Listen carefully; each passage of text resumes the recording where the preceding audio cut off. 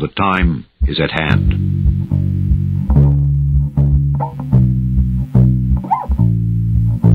The Army Air Forces has announced that a flying disc has been found and is now in the possession of the Army. When we are successful, and we will be, we have a real chance at this new world order. But I am telling you right now, We need a great reset. And this, is, extremely dangerous to our democracy. Babylon the Great is fallen, is fallen.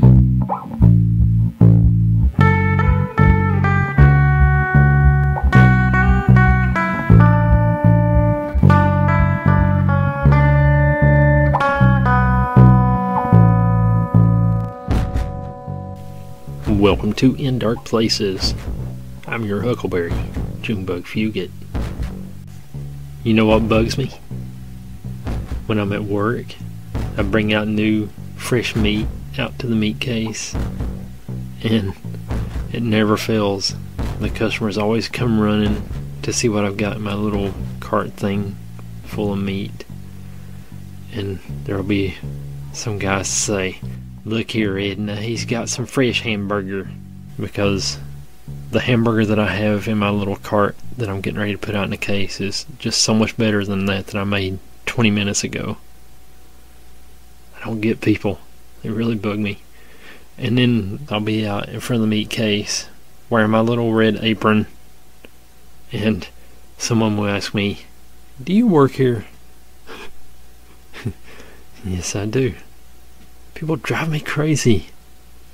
This week on the show, in honor of my time spent in the city between the lakes, we're going to be having some hot dog sauce. Translated, we're going to read a bunch of random, creepy stories. So, sit back, get warm, and enjoy. This is Mr. Haunted with this week's Cryptid Corner. And we have a sponsor. It's Old El Paso. Out in the West Texas town of El Paso. For generations, the people of El Paso have been creating some of the best tasting Mexican food using their traditional recipes for savory tacos, mouth-watering burritos, and sizzling fajitas. But you don't have to go to El Paso to get the real taste. Old El Paso taco, burrito, and fajita kits have come to you. Old El Paso, the real taste from the real place.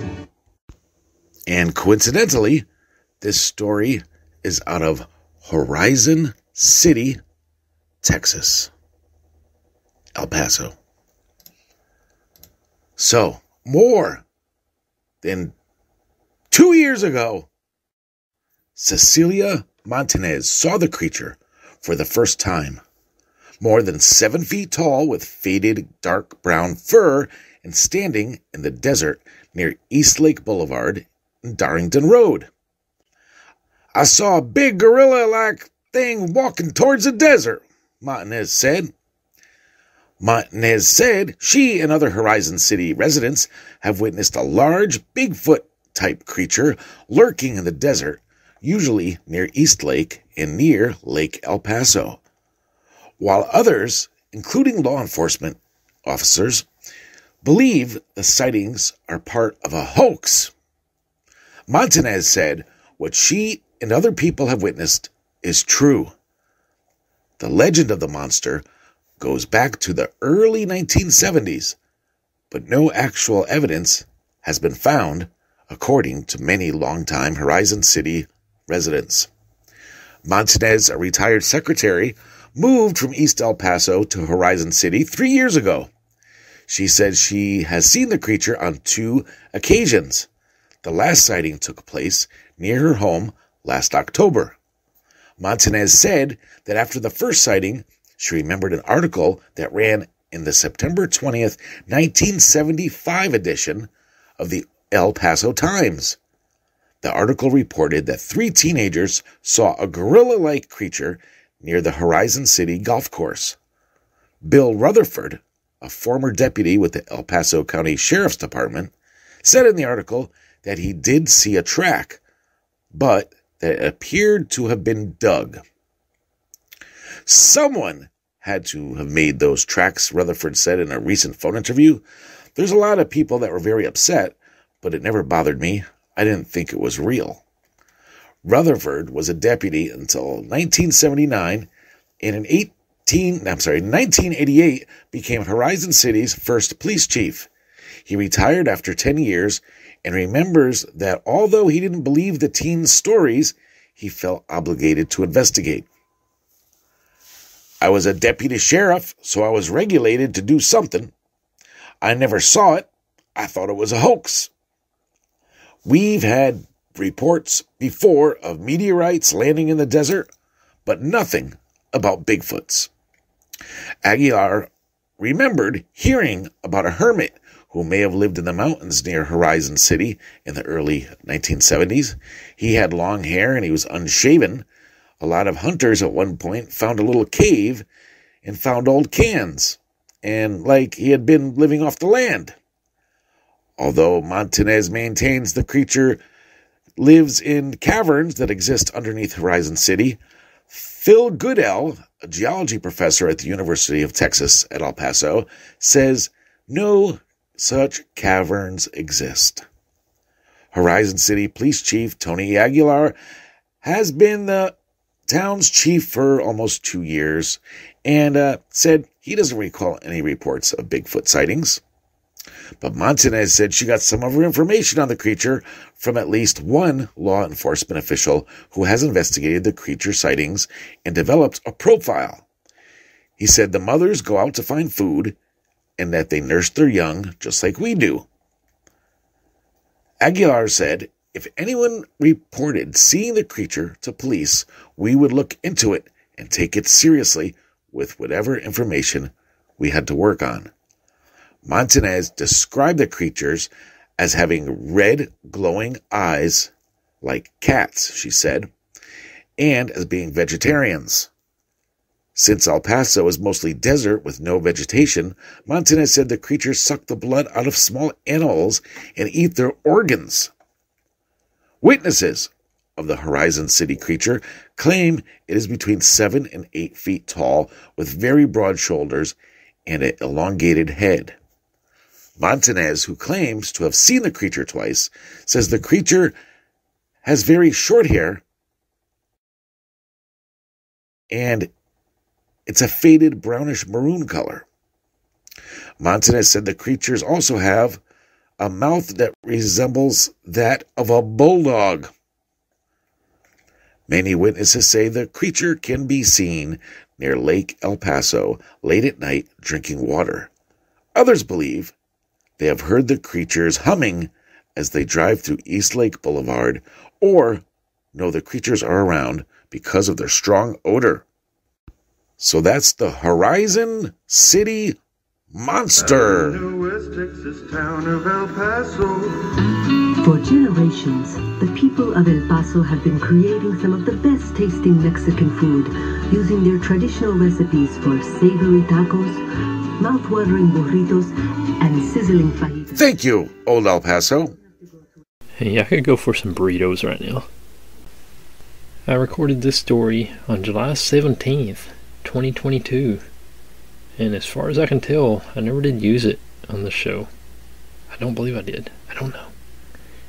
If I did, I apologize. You're going to hear it again. Hunters in New Mexico encounter eerie hooded beings in vanishing circus tent by Tim Binnall. Thanks, Tim. In a truly bizarre story out of New Mexico, two men claim that they had a close encounter with what may have been a UFO resembling a circus tent and its alien occupants during a recent hunting trip.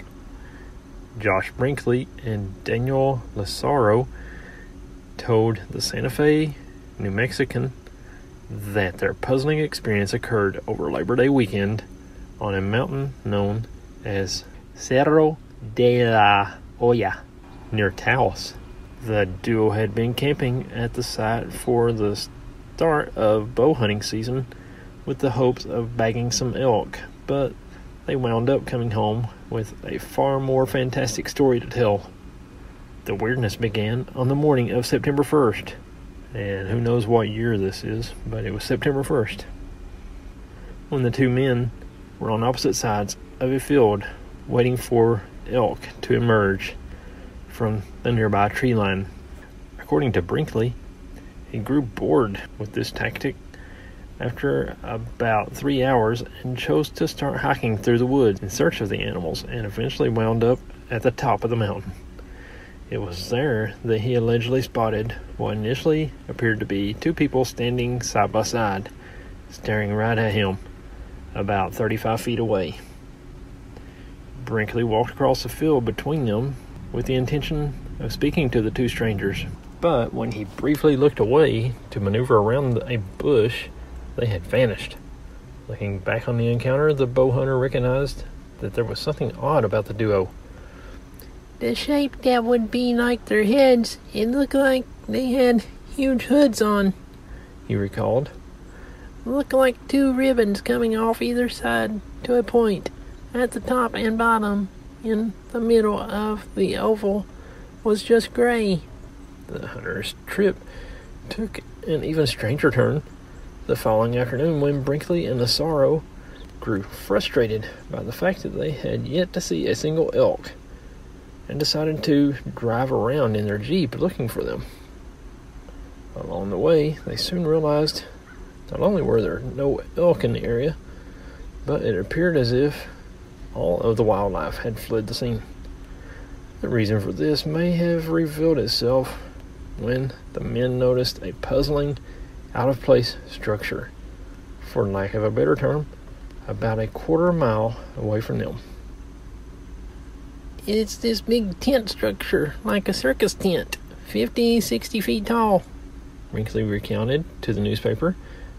Coming off to the left of it was this long building, almost like what you would build for an archery lane for target practice.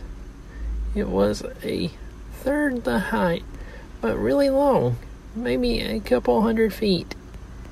Amazingly, much like the two mysterious people that he had seen the previous morning, the baffling building disappeared during a brief moment when their vehicle went down a hill and they had lost sight of it.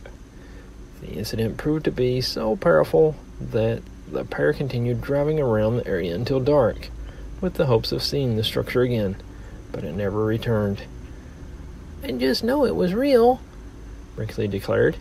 It was huge and white and then gone. As one can imagine, the wondrous weekend has left the duo scratching their heads as to what they may have encountered on the mountain, asserting that they were complete. What in the world was that? I don't know. It'll be interesting to play that back and see what in the world that was. Asserting that the pair were completely sober during the trip, the pair conceded that people will likely doubt their story, but they insist that it really happened. Given the sizable nature of the structure as well as how both it and the beings disappeared in an instant, the hunter's report has stirred speculation that they had some kind of encounter with a UFO and its occupants. For his part, Brinkley seemed to agree, noting that the experience has made him a believer in the phenomenon. Meanwhile, Lazzaro wasn't quite ready to go that far, and instead simply marveled that I've never seen anything that big just disappear. I recorded that out in my beloved Jeep. Did you catch that weird popping noise? Completely. I don't know what that was. I still haven't figured it out. Maybe you guys know. Wish I had that Jeep now. sitting here stranded in five inches of snow at the house. I can't even get out of the house right now. That same night on July 17th, I was down at my dad's house and I saw some kind of a shadow figure run by the window out in his yard by the swimming pool. So, two odd occurrences in one day. Here's another story I've been hanging on to for a while. I've got a few of those in this episode. This one is from December 1st, 2023, and I guarantee that it hasn't been on the show yet. I was the store manager of a nationwide mall, computer, later gaming store. This was long before GameStop and cell phones.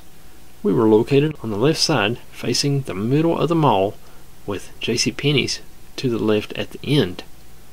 This detail plays into what happened. My ex-wife is a strikingly beautiful Latina woman. She was only 20 and my daughter one and a half at the time. Unfortunately, fortunately for us, we had very beautiful babies. They almost look like dolls. The reason I say this is my daughter attracted way too much attention as a baby. We stopped going out in public because people were constantly approaching us and trying to touch her. It's a Sunday. I would work the whole day since it was a short day. The three of us would go to work.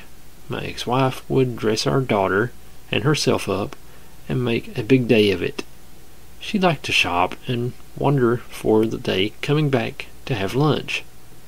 Being the manager, I took long breaks as well and probably took more of the money than all your other employees too.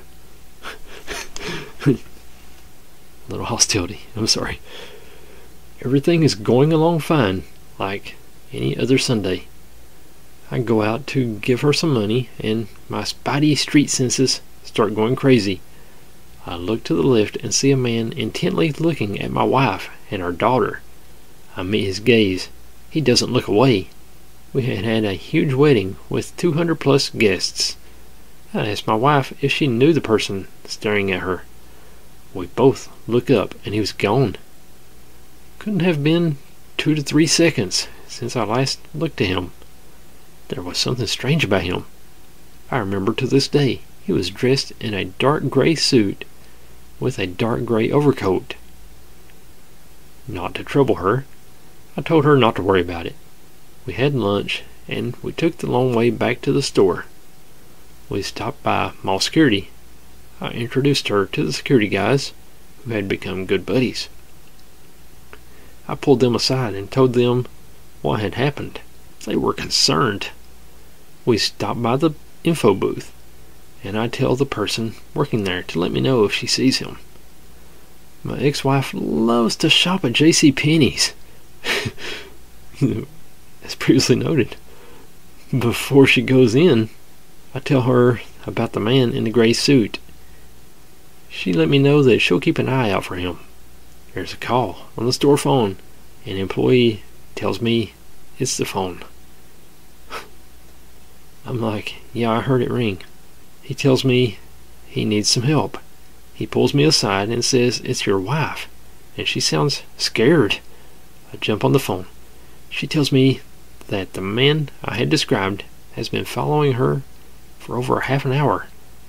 When he had first showed up, she said he was reaching for our daughter. I immediately called security. They come up the middle with my employees standing watch on the entrance to JCPenney's. I go out into the parking garage, which was no more than 50 feet away. Only two entrances into the store, front and back. Lots of emergency exits on the parking garage side. So the only entrance not covered was in the front. Luck would have it, a police officer had pulled someone over from the street and was in the front parking lot. By this point, I don't want the gentleman to go away. I want him caught. Everyone starts converging on the store. He's got nowhere to go, right? They walk to the station where my wife is surrounded by the store manager, several employees, and they have our daughter behind the counter. The police officer had been alerted. All security escorts, both of them out of the store to me. We put them in our car, and they drive straight to her mother's. They continued to search the store, every nook and cranny. He was never found. To this day, I can remember every detail but the detail that sticks out the most, his eyes were coal black.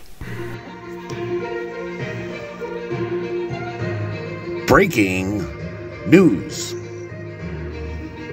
Are there super tall alien beings that are caught on video in Brazil roaming around the hillside?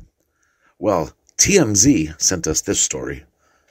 More mysterious video of what appears to be super tall human like beings walking among us, and at this time, folks are claiming that there are 10 foot tall aliens down in Brazil. You gotta see these videos from Ilha do Mel, an island off the coast of Brazil, where locals claim they saw at least two tall and mysterious figures standing on a hilltop. It's hard to gauge how far away these clips were shot from, but whatever's out there sure looks big, and it's pretty crazy. The woman who took the video says it's pretty much impossible for humans to reach that part of the hill where the creatures are, and she says the beings are way bigger than people. At one point, you start to see them on the move, walking around. The sighting comes only days after an incident in Miami where conspiracy theorists claim video shows a tall gray creature walking through an outdoor mall in the middle of a massive police response. As we first told you, cops in Miami said that video doesn't show a creature, but rather a human shadow, and the cops were responding to a huge fight. The Brazilian government is going a different route, route, route, route to brush this incident off, posting on social media. Surreal! What happened on Ilha do Mel? Uh, some person, I don't know how to pronounce their name. Uh, it's another story, and even strange things, strange beings came to check it out. And you, will you be left out? In other words, they're trying to play this off as a hoax, or not what people think. It's the eye of the beholder, we suppose. We say this through these, uh, though these sightings are becoming more frequent. And at some point, someone might get something on camera that's impossible to deny, as much ado about nothing. Until then, here's more breadcrumbs for the unknown. The truth is out there, y'all. I'm still having real bad problems with my eyes. Excuse the uh, mispronunciations and such. Back to you, Junebug. Indian village on edge over shadow entity. Sightings and strange home disturbances by Tim Binnall. Thanks, Tim. Panic has gripped a village in India as several residents say they have experienced strange disturbances at their homes, and two witnesses claim to have seen a shadow entity that some believe to be behind the mayhem.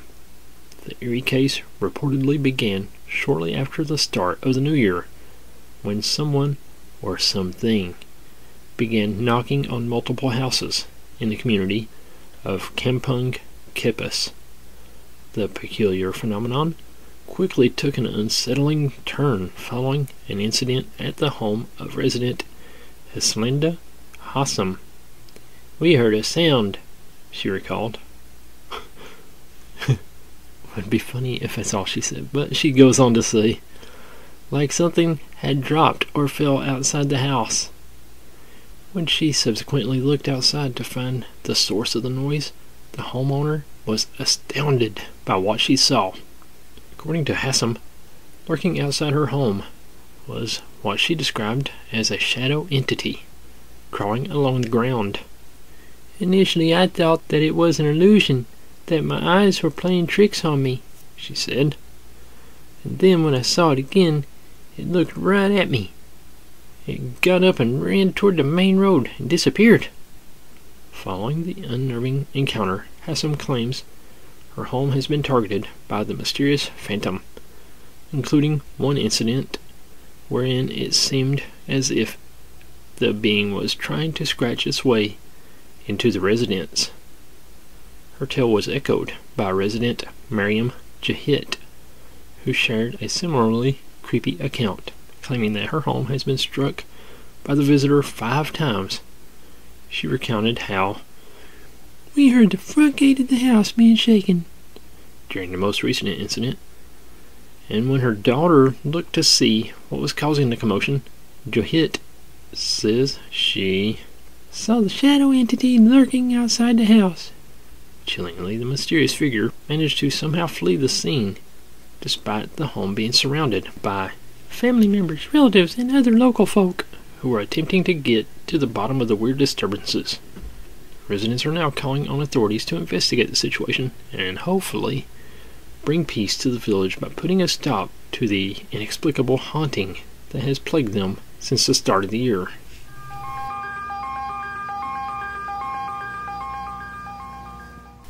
The wailing of the banshee to announce death is a well known part of Irish folklore. One night, early in 1979, Irene McCormick of Andover, Hampshire, England, was lying in bed when she heard what she later described as the most awful wailing noise. She was alone in the house at the time and was in a melancholy mood, for her mother was close to death in Winchester Hospital. When she heard the wailing, she nearly fell out of bed. I got up, shaking, and went downstairs. The dog was running around and round in the living room, whimpering. He would not settle, so Mrs. McCormick took him upstairs to the bedroom, where, after the wailing died away, they both lay waiting for daybreak. With the dawn came a police message for Mrs. McCormick. She was to go to the bedside of her mother. When she arrived at the hospital, she found her mother in a coma. She stayed with her until her mother died a short time later. When the funeral was over, and the household had returned to normal, Mrs. McCormick told her husband and children what she had heard. Although she is not Irish, her husband is. He suggested that she had heard the banshee. Many of the family laughed at this, says Mrs. McCormick in a letter to the Unexplained. Thanks, Unexplained. They probably thought I was going mad, but I hope I never hear anything like that again. Pronounced as it is spelled, the word banshee is derived from the Irish Gaelic bean sídhe, meaning woman of the fairies. Her mournful cry is said to foretell death. According to tradition, she has long red hair and combs it mermaid like as she keens outside the family home of those about to die. She is rarely heard or seen by the doomed person. The banshee has her origins deep in Irish legend. She wailed for ancient heroes such as King Conor MacNessa, Finn McCool, and the great Brian Boru, whose victory over the Vikings in 1014 broke their power in Ireland. Most recently, residents of the Cork village in Sam's Cross claim to have heard the eerie voice of the Banshee when Michael Collins, Commander in Chief of the Irish Free State Army, was killed in an ambush in 1922 during the Irish Civil War. In the late 1960s, the Irish psychical researcher Sheila St. Clair produced a radio program for the BBC on the Banshee, and even allowing for Irish exaggeration. Some of the accounts were chillingly convincing. A baker from Kerry told of an uncomfortable night that he and his colleagues had spent while baking bread ready for the morning delivery. It started low at first, and then it mounted up to a crescendo. There was definitely some human element in the voice. The door to the bakery where I worked was open too, and the men stopped to listen. Well, it rose, as I told you, to a crescendo, and you could almost make out one or two Gaelic words in it. Then gradually it went away slowly. Well, we talked about it for a few minutes, and at last, coming on to morning, about five o'clock, one of the bread servers came in and says to me, I'm afraid they'll need you to take out the cart, for I just got word of the death of an aunt of mine. It was at his cart that the Banshee had keened. On the same program, an elderly man from County Down tried to describe the death cry in more detail. It was a mournful sound, he said. It would have put ye in mind of them old yard cats on the wall, but it wasn't cats. I know it meself. I thought it was a bird in torment or something. A mournful cry it was. And then it was going a wee bit further back, and further until it died away altogether. Although Bin Sahid means literally fairy woman, most folklorists classify the banshee as a spirit rather than a fairy, in the sense of one of the Irish little people. According to mythology, the banshee cries at the deaths of fairy kings too.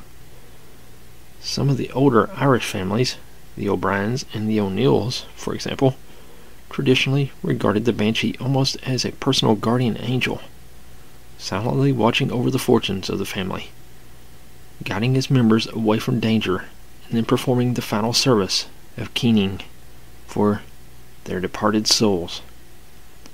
A county Antrim man told Sheila St. Clair his interpretation of the Banshee's role. An interpretation, incidentally, that may account for the rarity of the noisy spirit nowadays. He claimed that centuries ago, certain of the more pictious clans had been blessed with guardian spirits, because these celestial beings were not normally to express themselves in human terms yet, became involved with the family in their charge. They were allowed to show their deep feelings only when one of their charges died. The result was the banshee howl. However, said the Antrim man, with the gradual fall from grace of the Irish over the years, only the most God fearing families were privileged to have a personal banshee today. This theory may please a businessman from Boston, USA, who wrote to the author of this article some years ago, claiming that the banshee, like other creatures of European folklore, had crossed the Atlantic.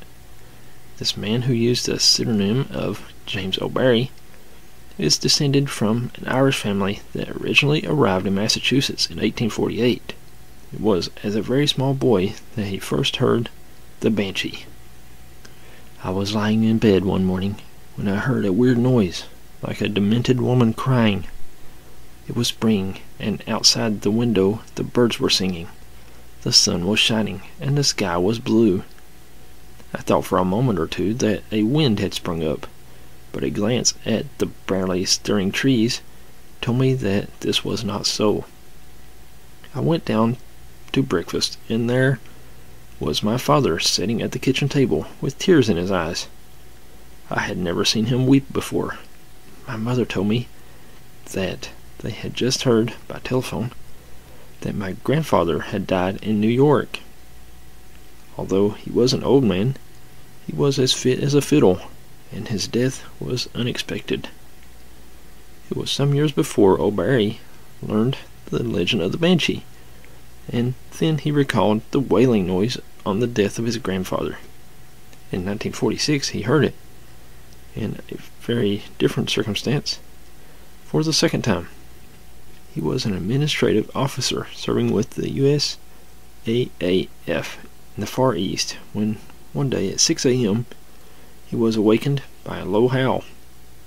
He was terrified, but he says, That time I was instantly aware of what it was. I sat bolt upright, and the hair on the back of my neck prickled. The noise got louder, rising and falling like an air raid siren. Then it died away, and I realized that I was terribly depressed. I knew my father was dead. A few days later, I had a notification that this was so. O'Barry was to hear the voice again, seventeen years later on what he considers the most remarkable occasion of all. He was in Toronto, Canada, by himself, enjoying a combined holiday and business trip. Again, I was in bed, reading the morning papers, when the dreadful noise was suddenly filling my ears. I thought of my wife, my young son, and my two brothers, and I thought, good God, don't let it be one of them. For some reason, I knew it wasn't. The date was November 22nd, 1963, the time shortly afternoon, and the Irish Banshee was wailing the death of an acquaintance of O'Barry's, President John F. Kennedy. If the Irish have their Banshee, one could reasonably expect their close Celtic cousins, the Scots, to have a version of their own. It is not so, however, although most clans at some time or another have boasted a personal harbinger of death. The nearest thing to the Banshee recorded in Scottish folklore is the Death Woman, who sits on westward running streams on the west coast of Scotland, washing the clothes of those about to die, and the Highland Red Fisherman, a robed and hooded apparition who sits angling for fish. To see him is itself the warning of death. The Ewans of the Isle of Mull, or Argyllshire, preserve a curious legend concerning their own death spirit.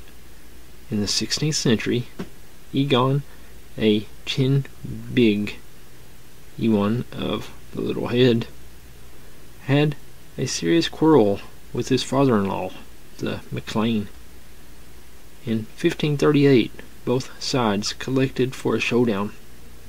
The evening before the battle, Ewan was walking when he met an old woman washing a bundle of blood-stained shirts in a stream. Ewan knew that she was a death woman and that the shirts belonged to those who would die in the morning. Rather boldly, he asked if his own shirt was among them, and she said that it was.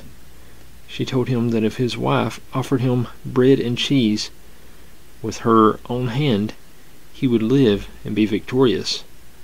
His wife failed to do so. Ewan, demoralized, rode to defeat, and at the height of the battle, a swinging Lochaber axe cut his head clean from his shoulders. His horse galloped off down Glen More, the headless rider still upright in the saddle. According to the present Ewan of Lochbuie, the dead chief became his own clan's death warning, and his headless body on his galloping horse has been seen three times within living memory before a family death. The vision is also said to herald serious illness in the family. Another celebrated Scottish death warning involves the phantom drummer of Cortachy Castle, Tayside, seat of the Earls of Airlie. One story says that he was a Leslie come to intercede for a truce with his clan's enemies, the Ogilvies, the family name of Airlie, and that he was killed before he could deliver his message. A more romantic version is that he was a drummer with a Highland regiment and lover of a 15th century Lady Airlie. He was caught by the Earl and thrown from a turret window, for well attested accounts from the 19th century indicate that the Phantom carried out its warning task efficiently. In the 1840s, the drummer was heard by members of the household before the death of the Countess of Airlie. The Earl married again shortly afterward, and in 1848 had a house party. The guests, including a Miss Margaret Dalrymple.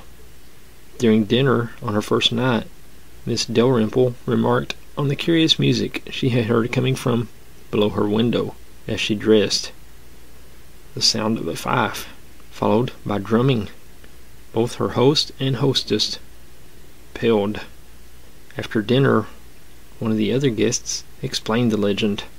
The following morning, Miss Dalrymple's maid, Anne Day, was alone in the bedroom attending to her mistress's clothes. She had heard nothing of the drummer story, so was surprised when she heard her coach draw up in the yard below, accompanied by the sound of drumming. When she realized that the yard was empty, though the drumming carried on, she became hysterical. The following day her mistress heard the sound again and decided she had had enough. Shortly afterward, Lady Airlie died in Brighton, leaving a note stating that she was sure her own death had been signaled by the drumming. In 1853, several people heard and reported the drummer again. Just before the death of the Earl, and in 1881, two relatives told of hearing the prophetic sound while staying at Cortachy during Lord Airlie's absence in America. Some days later, news of his death reached them. In the case of both the Banshee and the Scottish clan's death warnings, there are dozens of instances of people having heard or seen these harbingers of disaster. Laying aside the unlikely possibility that all of them are either lying or exaggerating, can we explain such irrational events in any rational way? Some psychologists, including Carl Jung, have evolved theories of what they term collective unconsciousness, a sort of inherited storehouse of memories of mankind's experiences passed on through a process from psyche to psyche. In the case of the Banshee, Sheila St. Clair says, I would suggest that just as we inherit physical characteristics, we also inherit memory cells, and that those of us with strong tribal lineages riddled with intermarriage have the banshee as part of an inherited memory. The symbolic form of a weeping woman may well be stamped on our racial consciousness.